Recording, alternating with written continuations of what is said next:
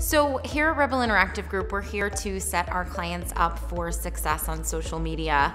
We work with them one on one to understand their business and help them translate that to how they should be engaging in social channels. So, um, first, we're going to help you determine which social networks you should be on Facebook, Twitter, Instagram, LinkedIn, YouTube, etc. There's plenty to choose from.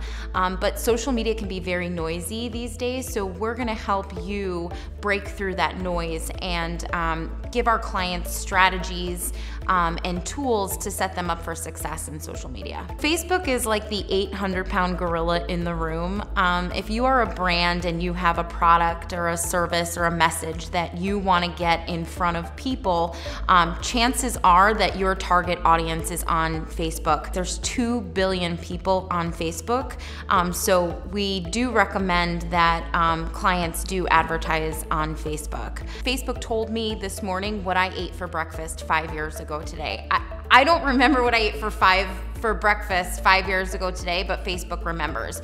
Facebook is behind the scenes collecting data about each user, what you ate for breakfast, what brands you like, um, where you're checking in. And it's, while it's a very large platform, um, it's allowing us to really target in on um, a very small audience. So if you want to target stay at home moms that shop at Whole Foods and like high end jewelry and cruises, we can uh, target that audience for our clients.